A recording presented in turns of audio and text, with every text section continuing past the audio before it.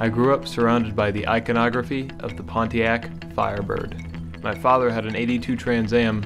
I was always in love with the designs, the logo, and the name Firebird. So when I really got into cars and I wanted a project, that's what I looked for. And that's what I found. It was a few states over, but I was willing to make the drive. It's not a Trans Am, it is a Firebird Esprit. This car rolled out of the factory with a 305 and a turbo 350 transmission. I don't have to tell you that the 77 and 78 Firebirds are iconic. This was maybe one of the last muscle cars, but because of the smog era, some people don't even like calling these muscle cars. I'm not one of those people. I talked to the guy on the phone, grabbed a trailer, and drove four hours with a friend to go check it out. The 305 was gone. In its place, a rebuilt 350 installed by the seller. So despite having a new engine installed, many things weren't hooked up and it wasn't quite ready to drive. But with a little ingenuity, we got to hear it run. That is indeed a beer can full of gasoline being used to start the car.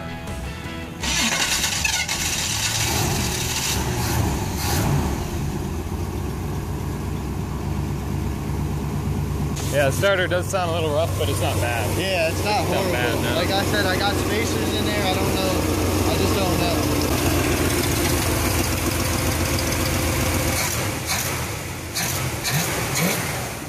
So, after checking everything out and talking the seller down to $1,900, I bought the car. It's not the most desirable year, it's not the most desirable model, and it's not a show car, but it was mine. The 10 inch Cragars on the rear were actually so wide that it didn't fit on the trailer, and we had to use this Ford Ranger to push it up and over the brake light housings on the trailer. So here's the story of this car as best I know it. This car was owned and driven in Nevada until somewhere around 2008 when I believe the engine gave out. I found these pictures of the car on the auction site the guy I bought it from bought it from, and it sold for $700. So the guy I bought it from purchased it online, had it put on a truck, and shipped all the way from Nevada to Ohio. He put in the engine and transmission, and it sat in his yard till I brought it home. So after buying it, we dragged the car the four hours back home and dropped it in my garage on October 30th, 2014. Then, in the following months and years, I got to work. First step is to clean everything out of the interior. Most of the carpet was already stripped, so I just went ahead and stripped everything out that I could. If it wasn't clear already, this isn't a restoration. This isn't some professionally built, high horsepower show car. This is my car that my friends and I put together in my garage on spare time and spare change. After cleaning out the car, I laid down some undercoating and then bed liner for the entire floor pan. Then I started to scrounge together the parts I needed. I was missing the front seatbelts, so I found the ones I needed on eBay. I found this rusted out 77 Trans Am on Craigslist and pulled the steering wheel and hood hinges out of it. I sandblasted the aluminum on the steering wheel, clear coated it, and then did a custom wrap. I spent a fair amount of time messing with the gauges, but they're not quite right. When I bought it, the odometer read 82,000 miles. I have no reason to believe this is not true. The previous owner had acquired quite a few black trim pieces because he wanted to paint the car flat black. I basically scrounged together the interior from the best looking parts that came with the car. I threw on these little switches for the power windows because I couldn't make the factory one work right and replacements were expensive. I replaced the ignition lock cylinder because it was loose and the keys were messed up. Just look at the dust that came out of this thing. The first time I changed the oil was pretty concerning. It was very brown. It must have been condensation or somehow water got into the engine while it was sitting. And the fuel didn't look much better. But in the interest of getting the car to run, I cobbled some things together and tried to get it to start.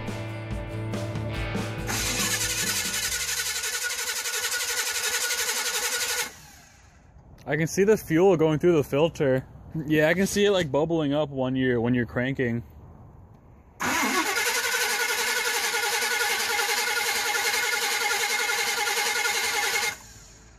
It's not bubbling anymore. It would crank, but it took a while of messing with the carburetor and the fuel system to get things started. Right after this, I cut off the entire exhaust. It was restrictive, the cat was clogged, it all had to go. So for a little while, the car was running open manifolds.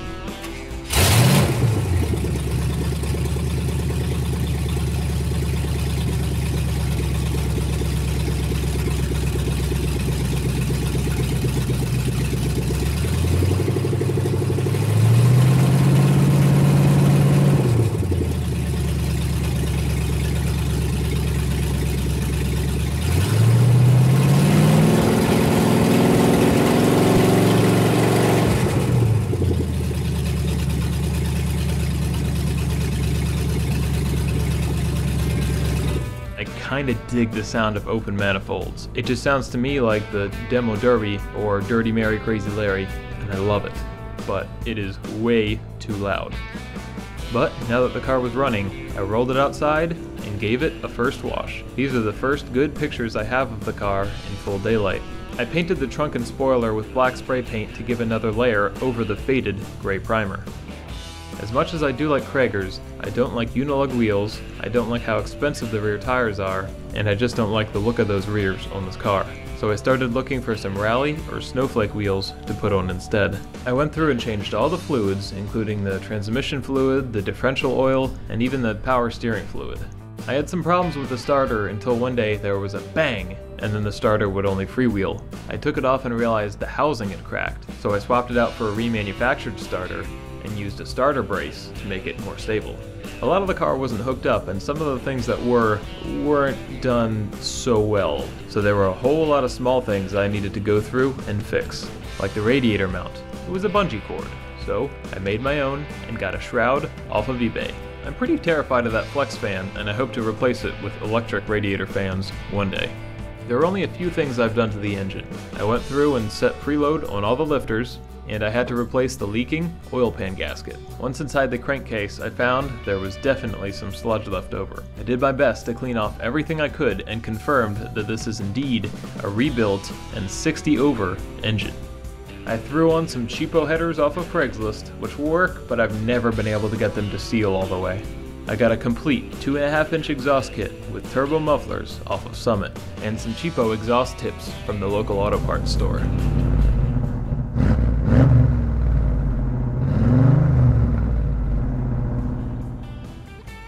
It's still pretty messy, but things were starting to come together.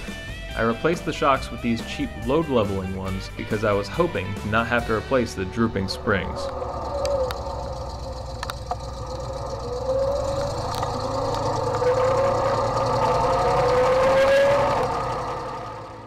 Unfortunately, I then realized that one of the rear leaf springs was cracked, so I needed new leaf springs, and at that point I might as well get new front springs, and at that point I might as well get a complete polyurethane suspension bushing kit. Sure. And also, polyurethane engine and transmission mounts. Every piece of rubber in this car is completely dry rotted and cracked, probably from the Nevada sun. I was lucky that all the body mount bolts came out easy, and I'm very glad that I decided to replace them all. I kept having problems with the carburetor, so I decided I really needed to get all the old gas out of the system.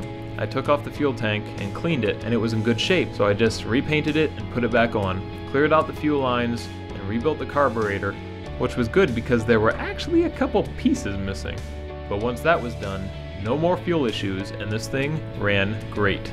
I replaced the wheel cylinders in the back and the brake calipers in the front with remanufactured units, and replaced the hoses with braided steel ones. I had some problems with pulley alignment that I eventually fixed with washers and trial and error. What it kept doing was flipping the V-belt over in the grooves, but luckily the belt never came all the way off. I regreased the front wheel bearings and decided they were okay for now, but I would have to replace them later on. After replacing the front coil springs, I took the car to my local community college, where we aligned it. Went up to Carlisle, Pennsylvania, and met a guy with something like 16 Camaros and Firebirds on his property. He sold me four 15 by 7 snowflake wheels, and I got some tires mounted and balanced on them.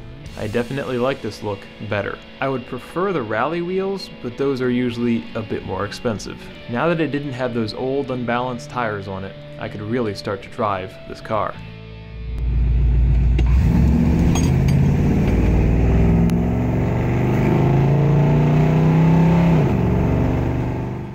Of course, I can't leave well enough alone. The intake manifold it was using was a cast iron spread bore with a square bore adapter. I got an Edelbrock Performer RPM off of Craigslist and threw that on. But that meant that even the drop base air cleaner didn't quite clear the hood. So I figured, screw it, and went full 70s and cut a hole in the hood to install this street scoop from Mr. Gasket. I've gone back and forth on whether or not I like the kind with the throttle linkage like this, but it's what I ended up with. I had to do a fair amount of modification to get it sitting low enough to the hood for my liking. I've fixed all kinds of small things and done a whole lot of tuning on it, but it's pretty much gone unchanged since then. I've put 4,000 miles on it, A whole lot of time driving the car, tweaking it, driving it, and enjoying it.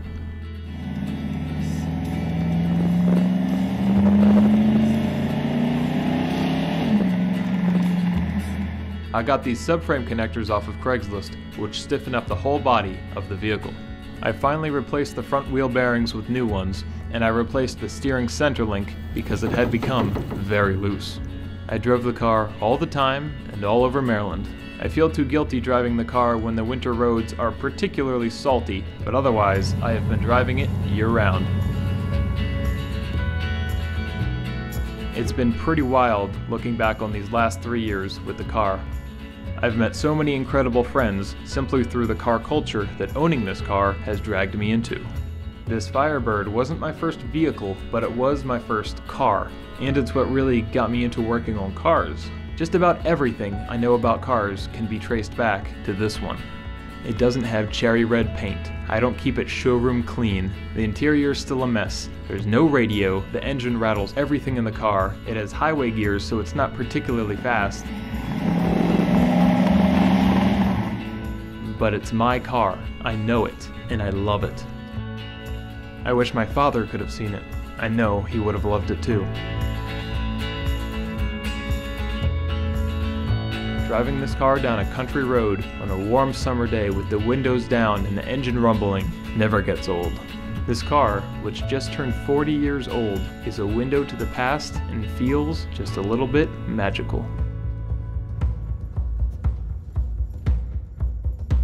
But make no mistake, this blast from the past is still evolving. And it's about to get a big kick in the ass.